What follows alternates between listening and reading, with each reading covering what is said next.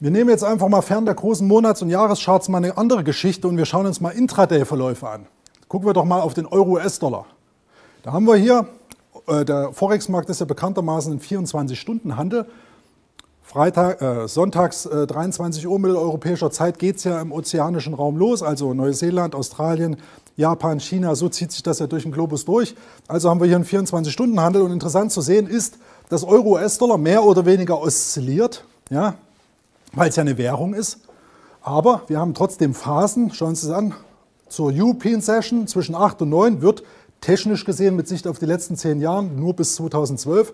Äh, dennoch hier interessant zu sehen, dass wir hier ein technisches Tief machen, um dann mit dem europäischen Handel ja, also der, das Handelsvolumen steigt in Europa, die europäischen Börsen eröffnen, die Londoner Session ist dabei. Ähm, da hat der Euro tendenziell bis zum Nachmittag hin eine steigende Tendenz. Das ist hochinteressant, wie ich finde, und kann man eben auch jetzt unabhängig der großen Geschichten auch runterbrechen auf zum Beispiel den Intraday-Verlauf vom Euro-US-Dollar, dann aber jedoch nur zehn Jahre. Interessant auch in Sachen Volatilität. Nächster Chart. Hier sehen wir zum Beispiel die durchschnittliche Schwankungsbreite im 10-Wochen-Durchschnitt jetzt. Also da kann man auch ein bisschen spielen. Aber hier sehen Sie auch, wie viel bewegt sich Euro-US-Dollar in Pips. Pips sind die Punkte beim Währungspaar. Ähm, hier praktisch pro Stunde. Ja, das sehen wir hier am Nachmittag 14.30, 15.30 also Wirtschaftsnachrichten und ähm, Eröffnung der US-amerikanischen Börsen, haben wir statistisch die höchsten Ausschläge in der Stunde beim Euro-US-Dollar. Ja, interessant. Hier hingegen in der Asia-Session Euro, US-Dollar, asiatisch-pazifischer Raum hat kaum Berührungspunkte. Da bewegt sich das Währungspaar unter 10 Pips oder im Bereich von 7 bis 10 Pips. Also wenn man da zum Beispiel Euro, US-Dollar handeln wollte, ähm, macht es wenig Sinn. Da sind die ozeanischen, die Yen-Pairs viel interessanter, weil da geht eben mehr in der Nachtsession, weil hier auch News kommen und weil eben die Währungsräume äh, Australien, Neuseeland, Japan eben dann in dieser Session hier auch viel aktiver äh, handeln und weil natürlich da auch die Wirtschaftszahlen aus diesen Währungsräumen kommen. Was auf die Stunde geht, geht natürlich auch auf den Tag.